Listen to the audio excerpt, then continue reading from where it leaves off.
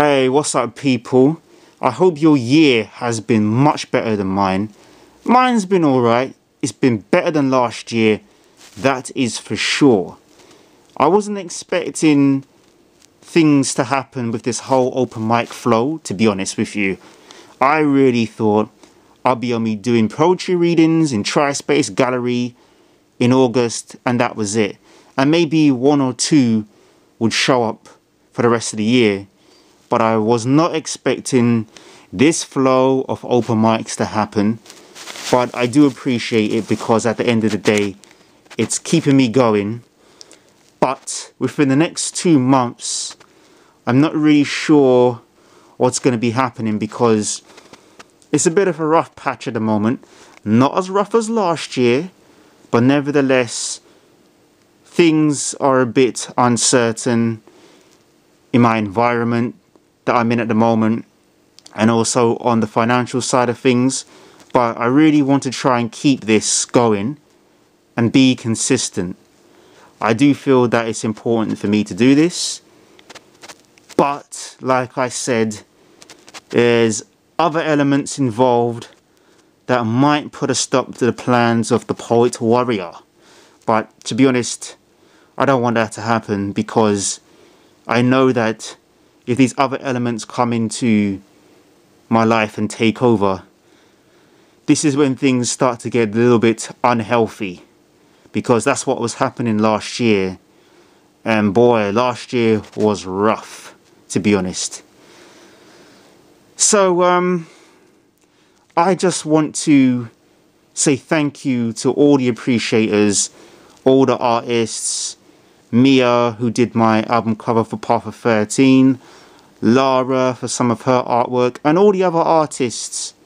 And I can't forget the hosts and the presenters and the promoters that I've met this year and the years before. Thank you very much. You know, there's quite a few to mention, but you know who you are. I really do want to say thank you to you guys Thank you to all the people who have had me at their open mics and been cool with me. Thank you, thank you, thank you. I'm just trying to keep my spirits up and keep more positive than usual because recently I've been getting back into that negative vibe and that kind of negative stagnant energy comes to haunt me again and I'm just trying to shake that off and that's another element that's kind of in my path as well um, that's really what's been happening. Just wanted to give you guys an update on Mr. G, the Poet Warrior, because I haven't really made any of these videos for a while.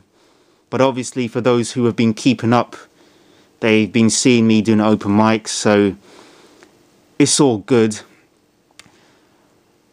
Well, well, is anything else? I don't think there's anything else I really need to say at this present time.